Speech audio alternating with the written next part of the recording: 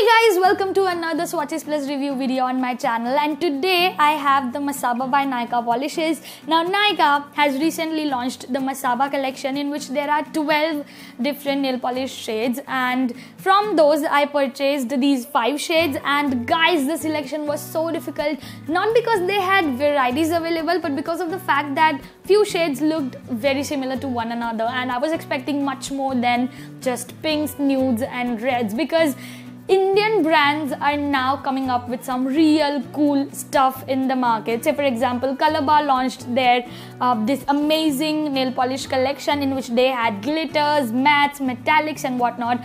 And then another Indian brand, Laroy, came up with their Insta Love collection in which they had a legit holographic top coat, you guys. By the way, the Nykaa Unicorn Potion nail polishes are not holographic. I know Nykaa did say they are holographic, but they are not.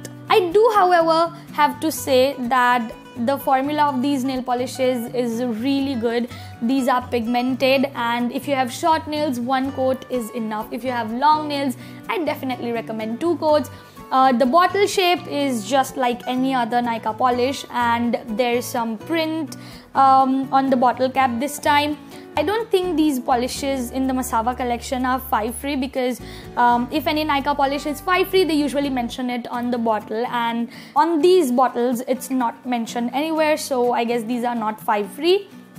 Now, talking about the brush, I love the brush of a Nykaa nail polish, and they have not changed that in the Masaba collection. The price of each nail polish is rupees 199 and yes, I love how they have named the lips and tips shades in the Masaba collection. I mean, there's an 80% chance that I'll buy a shade if I like its name. So, say for example, I was confused between the shades Nimbu Pani and Pataka, but I like the name Pataka more than Nimbu Pani, so I purchased that shade. I have not done the wear test yet, but I'll update you guys about that on my Instagram stories, so make sure you follow me there. And now it's time for the swatches, and I'll see you on the other side of the video.